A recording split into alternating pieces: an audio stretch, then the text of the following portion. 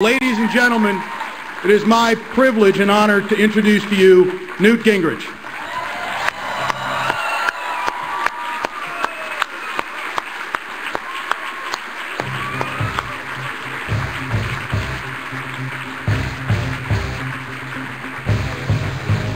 There he is. Coming in the back door.